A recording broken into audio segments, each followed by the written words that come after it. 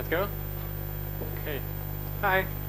So this is FOSDEM. This is a distribution dev room. Thanks, thanks Joe for organizing the, the room over these two days. Um, so I'm Lunar. Uh, I've been using Debian for more than 10 years. I became a Debian developer in 2007. Uh, these days, I'm very active in the Tor project and uh, mainly focus on that, but I'm, I'm still uh, trying to do work for Debian. Today, I'm, I'm, going to talk about reproducible builds for Debian because this is a distribution I know and that's what I studied, but uh, it's also a huge project that would need cooperation from probably all distributions and maybe others are willing to also uh, jump into the wagon. So uh, um, we'll see what happens. So what are, what are reproducible builds? Uh, reproducible builds is, the idea is that multiple people using different computers in different places could, from a same source package, uh, do the build process and get exact, exactly the same binary packages out of the source, bit by bit identical, like same checksum. Um, why do we want to do that? We want, I mean, my main focus on this is to prevent targeted attacks. Uh, it's way, way much easier to uh, put a malware on one computer than on one million. Because if that one computer is the one of the Debian developer doing the build, or maybe the Debian build daemon, uh, then you get a, you get a, a, window where you can insert a malware into a package that will be installed in many, many, many different boxes. Like Debian, you know, the, the our, our installation base is huge, and it's going to be tricky to actually figure that there is this malware. Because usually when we do our security audits, we do that on uh, the source code, especially given that we do free software and we have the source code. So uh, we rarely uh, uh study the actual binary and, and prove that the binary matches the, the source code. Uh, with independent parties reproducing the build, we can get some good level of, assur of assurance that actually the, the build systems are not compromised themselves. Um, it's also interesting, like some, some, sometimes you want to, uh, if you have a reproducible build, it means that if the first time you built, you forgot to, uh, uh, you didn't like include the debugging symbols into the binary package, then you can get them built after a while and use that to, uh, to debug uh, after the initial shipment. Uh, and also for Debian, uh, it's use, useful because of the multi-arch. Uh, for, for, in Debian now you can co-install packages that are on different from different architectures. Um, but you need to have the, all the data files need to be exactly the same. So it's also uh, uh, is interesting for, for, for this project. Um, for me, this, this, this, my interest into reproducible builds started with uh, actually uh, the work that has been done by Mike Perry inside the Tor project. Uh, he, which is also work that has been like done before uh, as part of the uh, Bitcoin community. Like Bitcoin people wanted to have reproducible builds because you know, they were handling like money and people were very like eager to know that the source code they were seeing were matching the binary. And so Perry did, did build on that. Uh, and um, we now, for the Tor project, ship uh, the Tor browser bundle, which is the main easiest way to use Tor, is built in a reproducible manner. This means that we have multiple developers in different area uh, all doing the same build and ensuring that the result match.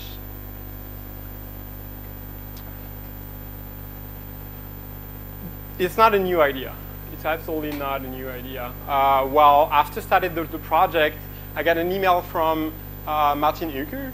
uh, said that, which told me like, yeah, I actually, we had this discussion in 2007, like six years ago. Uh, and I'm not sure how much he was he was knowledgeable with Debian processes because uh, he, but he suggested that uh, we should actually do that, that have uh, identical reproducible builds. Um, unfortunately, the reaction was not super enthusiastic. Like Neil Williams, for example, didn't really like understood why. Or you had Manoj, uh, who said they would like be infeasible, technically. Um, so yeah, but so I wasn't aware of that. And I was like super enthusiastic with Mike's work on the Tor project. And I was like, we need that for Debian. And so last minute at the last uh, Debian conference in, in, uh, in Switzerland, uh, we made a Birds of a Feather, like small meeting. And I was like surprised, like 30 people or more came and were like all interested into the project. And so we discussed what was the right approach and how we could do things in the various problems. And it, it, was like 45 minutes really well spent, uh, I hope. And this led us to uh, actually kick off the, the, the wiki page uh, where like we, we have all the, the project status. So, I mean, in probably something happened, some Edward Snowden thing, I don't know. But like from 2007 where like people were very unenthusiastic from Martin Uecker's suggestions to that BOF, it, it was like really, uh, uh, I think things have changed. So how do you do reproducible builds? Um, actually three things. It, it's it's kind of simple. Um, yeah, I mean, first thing is actually record the build environment uh, we, the idea is that you record uh, like the compiler, the, the rest of the system, you, you, you uh, record what was used initially to perform the build. Then when you want to reproduce, you, have, you just need a way to actually recreate that initial build environment. environment. And the last part is that to have build systems that do not capture things that they should not capture from the environment. They should not have variations that are not like tied to the source code. Uh, so recording the build environment is actually, uh, on Debian it's kind of, we, we don't have a, a, proper tool, but have, we have already ideas on how to do it. There is a, something called uh, DH build info, which is actually put record the environment but put the information in binary packages and not in source packages. But I mean, basically the problem is not really hard. It's then a matter of discussing where putting this information makes more sense, like, yeah, more sense.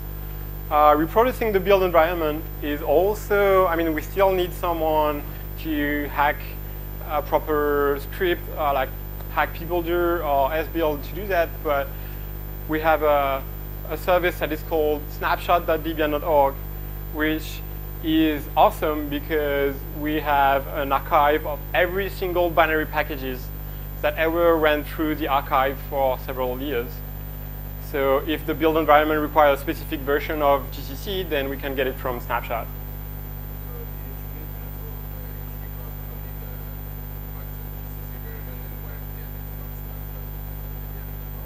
So the idea is that. Yeah. So the question is, do we need to store the name of the packages in its version, or do we need to store the actual binary of the compiler, for example? For Debian, we just need to store the, the version and the name of the package because we have snapshot, and because also we want people to be able to reproduce the whole chain in the end, maybe. Um, and then you have the thing that is more like painful is the various like variations that are coming inside, like from the build systems themselves. themselves. So timestamps are captured, like the current time, uh, build paths, uh, the file order, the local, many different things. I, I think I've not seen them all yet. Uh, to, to, to quickly run around is like uh, gzip, for example, if you, I'm not sure if you know, but by default it stores the timestamp of when the uh, zip was made. Why? No need to. So we can we, we need to get but we need to pass the flag that says to gzip do not record the timestamp. Uh, all archives almost like rtar, zip, jar, they all store also timestamp, uh, which most of the time is not useful information. Uh, and prevent like the second time when we try to reproduce, then we have a different time, right? So the archive is created with a different time and we have a variation that is not needed. Uh, JavaDoc writes timestamps on the a comment that is that is hidden in the in the HTML page. So if you're a developer, really I told you, there's I, am yet to find a convincing uh, use case for storing the time of your build in a binary package. I mean, for a JavaDoc, what you're interested into is to know which version of the software it is, which like, the, uh, I don't know, reference to the git head commit, but not the time. I can build an old version now, and then I get like a new, and it's all like it's, you know, please don't do that.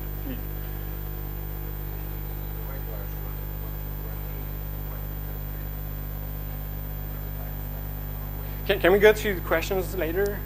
Uh, I'd rather go to the end. Um, also, one thing that I discovered is painful is that some build system and encode the build path, which where which directory the build happens. And one of them is the dwarf files, like debug symbol for ELF, for ELF, you know. Uh, and they have like these fields like DW, uh, DW AT name and DW uh, AT comdir that encode the build path, which is also like an unneeded source of variation because, for example, in Debian, we don't need that information. When you have a binary package, the source is lost, and there's no point in storing an arbitrary path in the binary package. Um, one fun thing is the file, file order problem. So when you use readdir on directory, sometimes you will get like ABC, but sometimes you can get CAB, depending on the order you actually initially they have been written or the file system mood of the day or so basically in some build system they just do like for example you know uh, they all the files from this, this directory and then you get a different archive because they file a different order or different listing file or plenty of those. Uh, solutions is, is really simple, like you just sort the output, but it needs to be done.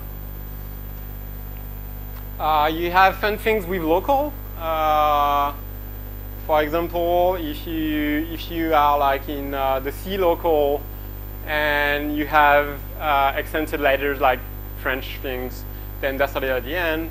And if you go to the French local, then the A accent grave is like after the A. Uh, so also that's a source of variations that needs to be uh, sorted out. Uh, you also have some build system that and then encode like a host name, the uname output, the username, plenty of, of fun. Um, one way to solve all these variations is to cheat. Uh, this is the way we do for the Tor browser bundle uh, and like Gitian and also like uh, Bitcoin and other projects. You use a VM. When you use a VM, it's you, ha you have a standard VM. Uh, you ensure they use the same kernel. It uses the same username. It uses the same build path. Uh, it uses the same host name. Like you squash all these variations just by using a VM. Uh, and the other trick you can use is called libfaketime. And uh, libfaketime is a LD_PRELOAD library that we like fake calls to uh, get time of day. Uh, it, it, became like super more advanced uh, recently. You can you now the last the last addition was a mode where you can actually record a file uh, where with every single get time of the day initial code, and they're like the time that is returned, and then replay that the next time. Uh, so I mean, you can cheat, that works, but we decided at the, the BOF at the DebConf that we would take the hard path because we're Debian and we try to do things right. Uh, I think. Uh, but the idea is that we're going to patch things. We're going to uh, configure the toolchain and, and patch the toolchain. Uh, for example, like we should have a, a, default option that would be like javadoc minus minus no timestamp, maybe, uh, and, and you know patch the actual system so they would pass the minus n option to gzip so we'd not record the timestamp. All these little changes that would make uh, package repro reproducible without having the need to use a VM. So that you can use any uh, Debian system and just run a script like you do normally to build a package and boom, reproduce. Uh, we did, so I have result. We did some experiments uh, uh using EC2 VM instances from Amazon Web Services uh, which is usually used to, to do a large-scale archive rebuild. Like to try, I don't know, last rebuild that was done was to try, for example, CLang. Try, try building, building Debian with CLang instead of GCC and see how it goes. So we have this infra infrastructure uh, that was partly done by Lucas Nussbaum, and also uh, these days it's maintained by David Suarez, which was really helpful. Thank you, David. Uh, and so the idea is that we're going to build and then rebuild the very same package and see if the, uh, we, we, get a similar result or not. Uh, so how we do that? We do so we build the package twice. Uh, and so the build process is standard sbuild, which means we set up a clean root, we unpack the source code, we install the build deps, and we build. And we do that again, like we set up a clean root, we unpack source code, we install build deps, and we, and we build. And the only small difference we do between the two builds is that we pass the timestamp of the first build to uh, dpkg through an environment variable. Like just to say, okay, first package was built that epoch. And this means that in this context, uh, we have two variations out of the list that I've made. Uh, we have time, and we have the build path. Both are different from the first build to the second build. Uh, there's no changes in the host name, the username, new name, file order, probably local. But it's still like time is the and build path uh, like seemed like the hardest from what I've seen so far. Um, to perform the experiment, we did like we installed three custom packages in the chroot. One is dpkg, so we get a single timestamp for every file in the archive. Uh, instead of like having multiple calls to get time of day, we only have like a single timestamp for every file in the archive. And we reuse the very same timestamp uh, if it's coming from the environment variable. dpkg has been also modified to put files in the archive in stable order. So we always get A, B, C. Uh, there's a change to deb, deb helper, which uh, modified the H, the strip. The strip is part of the deb helper that takes care of uh, debug files. And we use debug edit to mangle the build path that usually gets encoded into uh, the debug symbols. Um, and we also need to change, because debug edit is not able to work with indirect strings in dwarf files, uh, but I'm not going to get into the details. We have another options to, uh, to pass to uh, the C compiler. And we also uh, have binutils, which has been rebuilt with uh, configure option, which is minus minus enable deterministic archives, which means that AR is going to drop timestamp by default. So that's only three packages, three small patches. And we, so I mean, the, the thing is still running, but last time I checked, which was yesterday evening, we had like uh, five over 5,000 source packages and 3,196 out of the 5,155, 51 were actually identical. For those who don't want to be the math, that's 62%. I, the first try we did was 24. I actually couldn't believe it. That's awesome. Uh, so Manoj said it was technically impossible. I really now believe the contrary.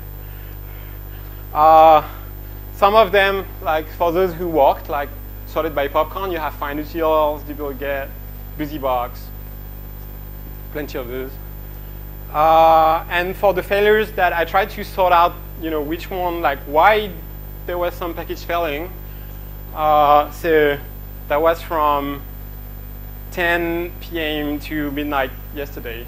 So sorry for the rawness of things, but um, so most of them have still like build ID mismatch, which means some problem with the build path that gets encoded into uh, the, the, the, debug symbol one way or another. Debug edit was written by Red Hat initially. Uh, there's, I mean, there's really room for collaboration because this is not a specific problem to Debian at all. Um, there's some unknown that I need to check manually, quite a lot of that.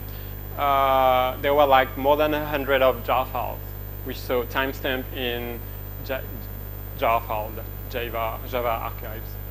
Uh, 100 packages are like Haskell, so I need to discuss with Joachim Breitner why, why that. Uh, PHP packages, we had like a timestamp embedded in the registry. I think we should just get rid of it. Uh, there were some documentation issues, probably timestamps also in documentation. Uh, there's some weird thing with the Python. One of the Python build systems sometimes put the depends in different orders, but they're the same, so that's going to be easy to fix. Uh, some R-specific language, KDE documentation, there's mono that I don't know how to deal with too. Um, there were like some DocBook, also timestamps. Perl man pages also timestamp. Uh, zip files, probably a couple of others. Most of, of these are like, the good news is that we can probably, for not that much more work, switch to 62% uh, to maybe 80 or something. Or at least that's, that's what I believe when I, I sorted that out. Uh, so yeah, because I mean, most of these issues I've listed are not probably not Debian specific, and I've seen that other distributions were also interested into doing that. Uh, there was a blog on the on the a blog post on the security blog from uh, Red Hat to discuss reproducible builds for Fedora. Uh, I know that OpenSUSE has something that is called Build Compare that is doing also some kind of reproduction. Uh, I'd be interested into uh, figuring out the details. And NixOS uh, is also very, very interesting into doing that. If you don't know NixOS, I suggest you look it up.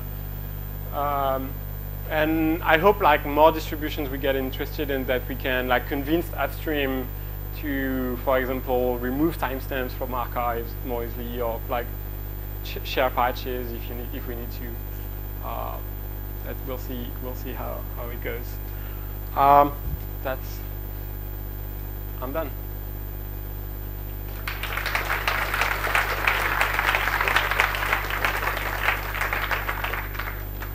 We have a microphone back here, so if we're going to do any questions, I want to pass the mic around so that they end up on video uh, for the folks playing at home. So who has the first question? There are like 8 million geeks in here and not one question. Come on. So please check the wiki page, uh, subscribe to it. Uh, there's also a main list if you want to subscribe. Uh, yeah, please. So at the beginning of your presentation, you said that uh, compromising one host is a danger to get uh, the same binaries. And then you said to solve this issue, we are creating a VM to have the same environment. But who is making this VM? Because so if you have a single VM for everyone, what you I have the want same to do problem. for Debian is that we don't have a VM. That's that's why it's harder to to do something. I'm sorry. For Debian, yes. the idea is to avoid to create a VM. That's why it's harder, because we need to patch much, much more things. Okay, thank you.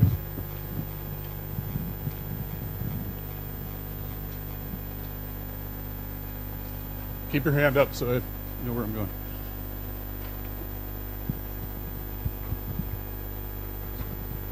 So, how confident are you that there aren't any compromised packages in Snapshot?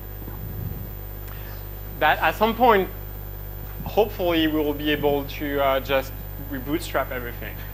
But that's that's a different issue. I mean, we need at some point to uh, we need to have the reproducible build system working, and then we can start like ensuring the trust of the whole tool chain. But it, I mean, both efforts should be done separately. Could we kill two birds with one stone with the when we're dealing with the debug symbols? Because one of the problems I have is that when I'm debugging, I end up installing lots of uh, debug packages, and then I have all of them. The symbols are all over the place, and I have to just do endless substitutes in GDB. We could kill that problem at the same time as making reproducible builds. Absolutely. This is, I mean, uh, that's why debug edit was written for Red Hat initially.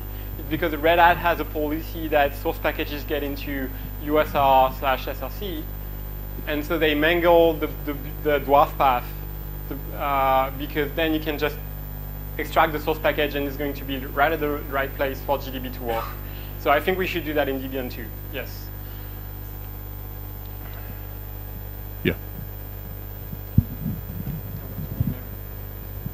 um, thinking about your your problem is if you are generating uh, one binary that have the same signature everywhere, you are not obviously sure that everything is built using the reproducible build. Do you aim at having the same libc everywhere before making your build? Because if you have some uh, loaded libraries on runtime, you have to be sure that also these libraries have the same signature everywhere. Yeah, I mean, no, we assume that if the initial build was done with libglib 12.4, uh, then if we reinstall like libglib 12.4, then we're going to have the same. I'm not sure I got your question right. I'm sorry. Um, your system works if everything on your local system is made using the reproducible builds. no, not. We, we use standard Debian packages. The idea is to use standard Debian packages. Um, uh, how can I say that? Uh, I understood that your aim is being sure that several developers, almost everywhere in the world, have the same binary signature of one binary that you want to test. They But- produce the, the, like the build system produces an analytical binary for each of them, yes. Yes, but this binary will load some libraries, and you have to be sure that all these libraries have also the same signature, unless if you are not sure what you are running. If you want to have trust in the system fully, sure. But it's, I mean, it's a gradual process. The, the, when, we, when we talk about security, it's important to, like, it's always like important to have in mind the cost benefit ratio, right? It's, it's, for, it's what I said, it's like, it's uh, the cost of compromising one system that is going to be a developer system is less than the cost of compromising a million systems. It's and it's the same. Like compromising uh, one Debian package is a problem.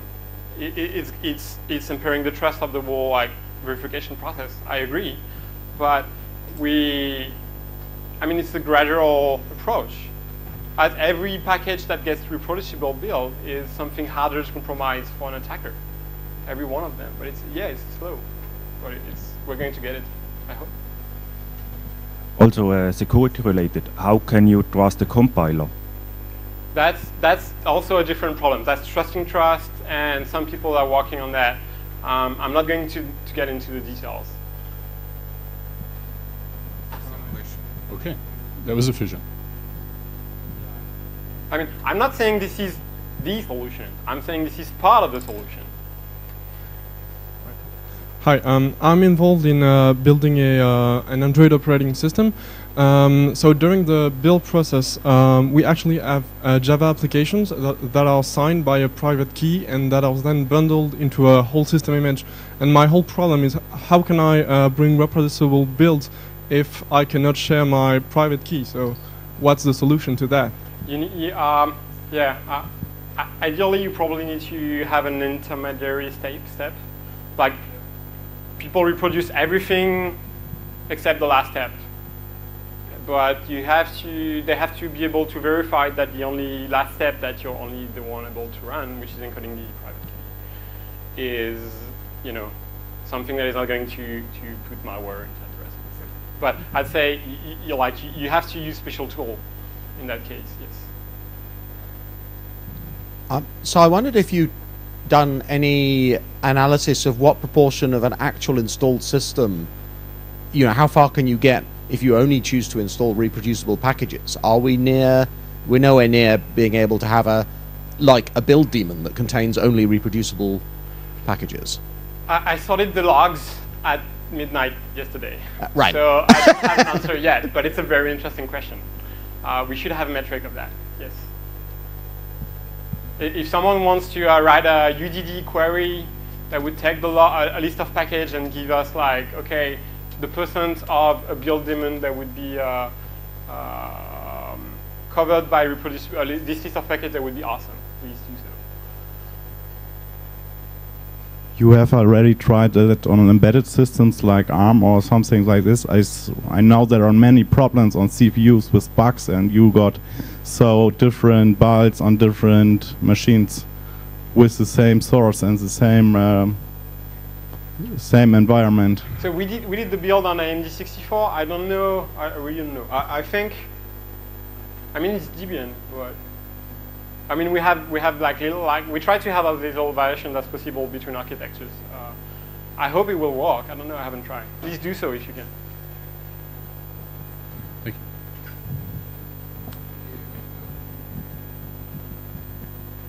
Are you planning uh, one day to add a verification uh, process that will verify that the packages, binary packages that are published, they really correspond uh, with the source packages? So something we've been discussing in Debian for as long as I've been interested in Debian is uh, binary is, is uh, the end of binary uploads. So when a, Debian developer upload a package in Debian, they upload both the source code and the binary for their architecture. That's how it's usually done. Uh, the problem is that sometimes they're like sloppy and they do not really use the standard build environment, and so they have a binary package that no one can rebuild. I'm not talking about reproducible, like re like identical rebuild, but just rebuild from source. Um, so we've been discussing in Debian for ages to just prevent developers to, uh, from uploading binary packages at all. Like just take the source and then have the build daemon do the binary packages. But then people argued that if we do that, people are not going to test their packages at all. So we should not. What I want to do with this is that developers would not upload the binary packages. They would just put the checksum of the .deb file into the changes, and then the buildd will rebuild and ensure that it matches. And then we have a trust that at least, you know, it's either like the buildd has been compromised or the developer system has been compromised. Or if, if there is a mismatch, or like both. But then we're screwed. Uh, Does that answer your question? Awesome. Hello. Um, oh. um, how how uh, how close are we to getting these small patches back into Debian? And um, do you have a rough estimate for when we're going to see reproducible builds? You know, by default out of the box. Are, are there any barriers or any controversial bits in the patches so far? I have quite frustrating discussions with uh, Guilhem Jover so far, uh, the DPKG maintainer. Uh, I'm not sure he's interested into this at all. So I hope there's going to be enough peer pressure to, and I mean 62%, right? It's not like completely crazy idea, we can do it. Uh, the patches are, I mean, you can review it. I find it, I find them like, okay. Uh, the debugedit thing is, is more complicated. We need either someone to uh, probably uh, patches, patch, do some changes to uh, debugedit to improve it, or to write, to rewrite debug, debugedit in another language. I, I tried to, I tried to work on debugedit and I failed. The code is, is too hard for me. But yeah, I mean it's doable. It's, it's, I think. At least um, there is a. If you want to see, uh, there is a. Um, if you go on the wiki page, we have a user tag so you can see all the bugs that have been reported so far as part of the reproducible builds project. And every single like package maintainer, I said, please, can you uh, take that patch? It's going to make your package reproducible. Like, and it, they took it. I had no rejection so far, except like for the most like DPKG things. But so I mean, uh, yeah, I hope. If you guys could work a little harder on asking your questions in the order you are in the room, that'd be really great. Just want you to get some exercise. So in Fedora, we have uh, we have one particular reproducible build problem that I'm not entirely sure is solvable because uh, what we have is uh, when we build our live images or our ISO images, uh, these are all coming from pre, uh, pre-built packages. Really, the only thing that's being done is that they're being turned into an ISO image. And one of the things that we've identified uh, every once in a while, since we're always pushing on the edges of what you can fit on a disk, uh, we, we discovered that there's a a drive geometry problem that we hit, where actually creating the ISO image, the same exact set of packages with with uh, the timestamp faked out, will still sometimes produce a package that is one sector larger. Because because. because because of the way the drive uh, the the, uh, the sectors on the disk uh, line up. Right. So, how do you work around that? That's a very good question. I hope you find out. I mean, I mean, this is going to be a collective effort, or it's not going to happen, right? I mean, we have. I mean, the. I mean, the adversary is the NSA or something as big as the NSA, right? So, I mean, everyone together. Who's next? Anybody?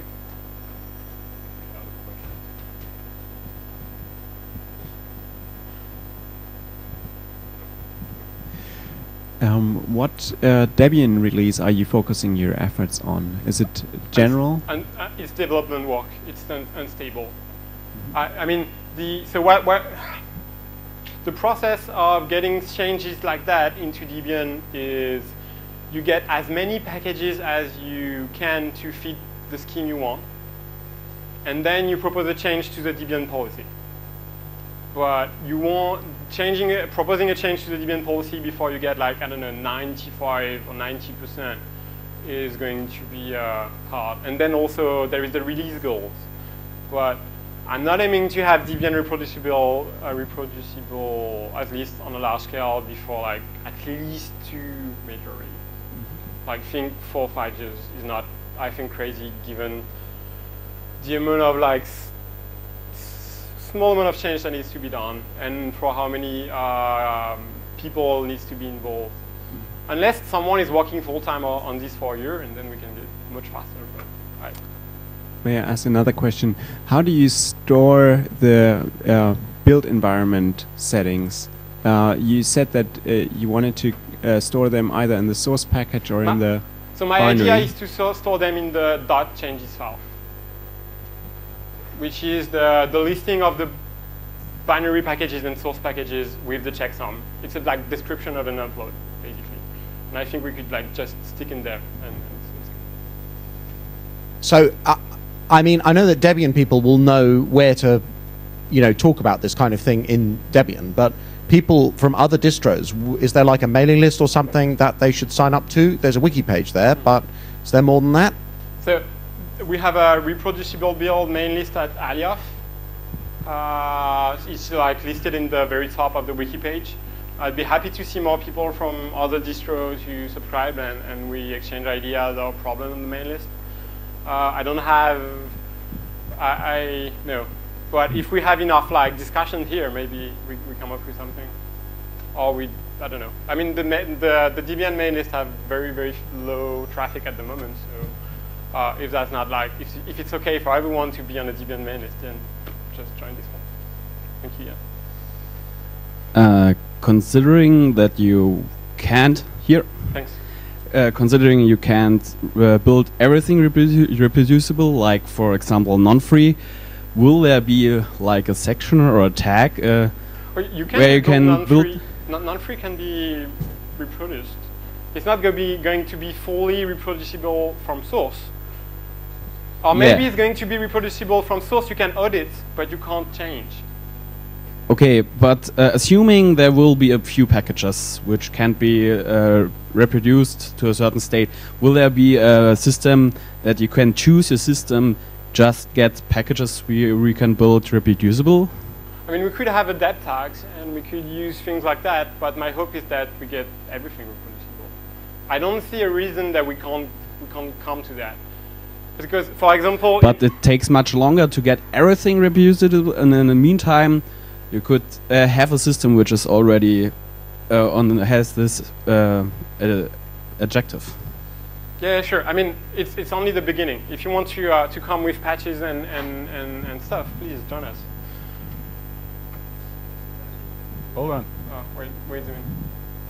Uh, it's just a re- suggestion to the, the other guy. Um, maybe we could have a non-reproducible uh, archive, like the non-free archive, um, at some point, potentially. It's.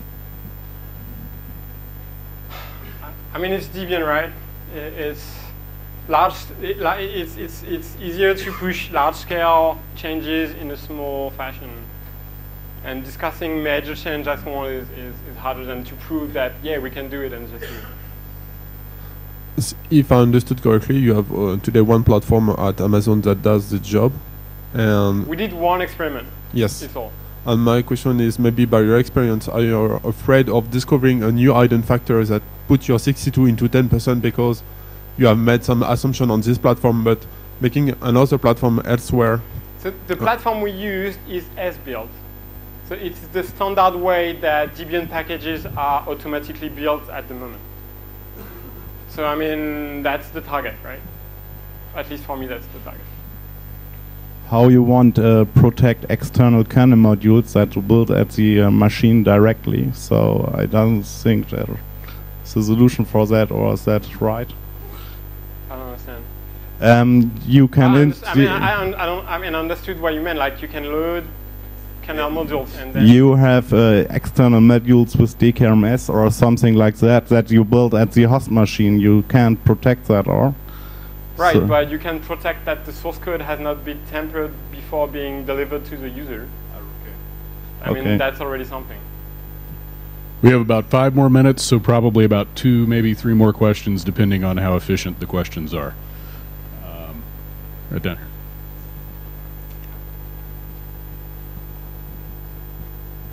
Uh, so you said you could uh, you there's the dep tag that uh, if you put a dep tag repro- reproducible builds maybe some people will start uh, using it and want to contribute and to fix the last package that they depend on and you would get uh, more developers at the end Yeah, maybe. But we're not, we're not, we're not, I mean, we're not that there yet. I mean, we have patches. So, how can I say that? The, question about how far we are, like, getting these patches in Debian is very relevant. Because basically, my situation right here, like having this result, is that I want to discuss again with Guilhem and other DPKG developers what is a proper patch to get into DPKG. And if we have a disagreement on it, I want to run it by the tech committee.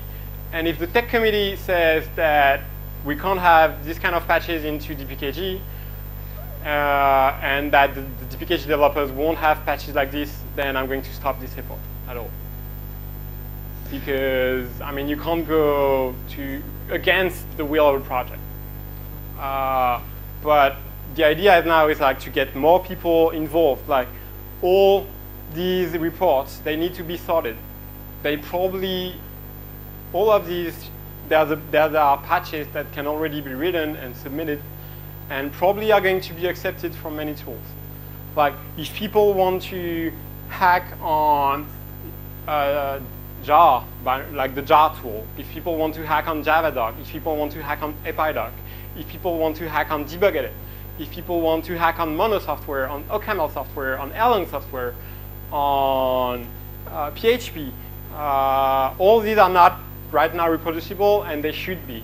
So there are like plenty of work that we can do uh, wherever or not, and that is going to also uh, benefit everyone in the free software community, uh, is it Debian or not. Uh, so just, yeah, there's work to do, and, and it's going to be quite interesting. Um, do you expect any specific problems uh, with the package, the kernel packages, or is it just another package? So the good thing is that some people quite external to the Debian distribution, but I've been trying to guide them a little bit. Called like they have a project called Mempo, and they've been working on reproducing the kernel, and they have a few patches for the kernel already. Uh, I hope they will be able to uh, push them upstream. I haven't looked at, at, at them, at, at the, their work that much yet, but I know they have a package that contain uh, Debian source, grsecurity, and that can be reproduced in their environment. One more. Or we're done. Okay, great. Okay, one, one last thing. Uh, e- please come talk to me if you're interested, interested in this. I'll be at the Tor project corner of the Mozilla booth for the next two days. Uh, please. Thank you very much.